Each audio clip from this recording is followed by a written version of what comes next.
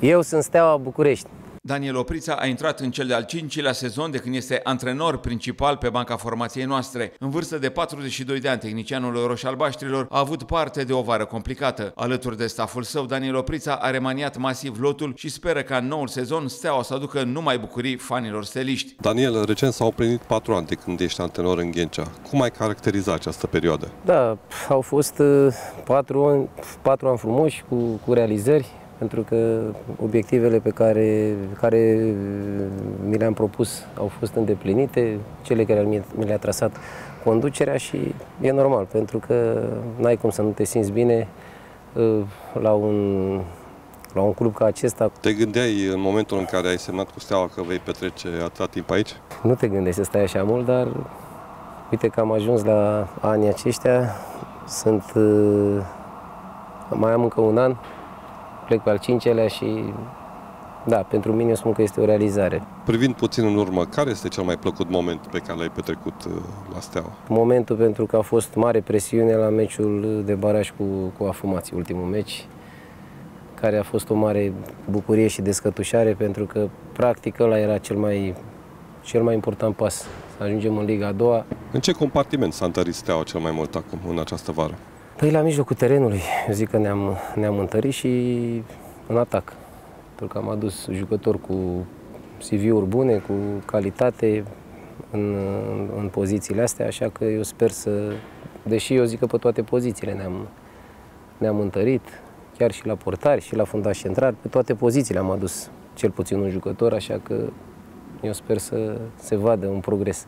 Ianis Plătea, David Matei, Răzvan Florea și Aline Raicu sunt câțiva dintre tinerii de la Academia de Fotbal pe care ai în lot.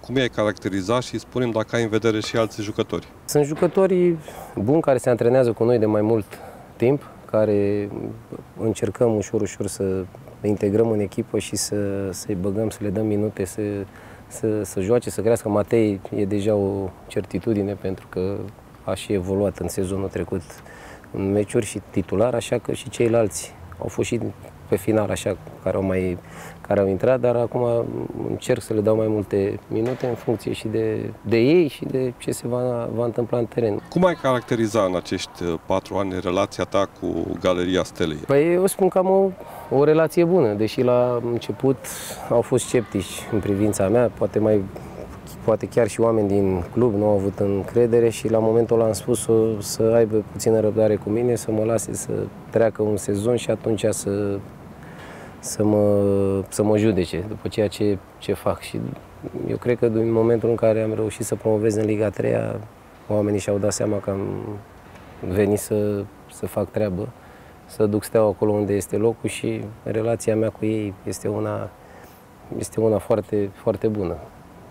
Chiar le mulțumesc pe această cale că stau alături de mine și de echipă și fac tot posibilul ca, ca echipa să, să simtă lucrul ăsta. Cum vezi startul noului sezon? Ești mulțumit de tragerea la sorți? Da, sunt mulțumit. Acum nu contează. Când joci la început cu echipe mai bine cotate sau acasă sau în deplasare, până la urmă tot, tot trebuie să le joci. Niciodată nu poți să știi ce, ce e mai bine. Le iei așa cum sunt, noi trebuie să noi facem jocul nostru. Care este obiectivul echipei noastre în noul campionat? Obiectivul propus de mine este să terminăm iar în primele două locuri. Mai departe nu știu pentru că e în continuare nerezolvată problema asta cu dreptul de promovare și vă dați seama că ne impunem noi un obiectiv. Cum vezi noul sezon din Liga 2? E mai puternic față de anii trecuți?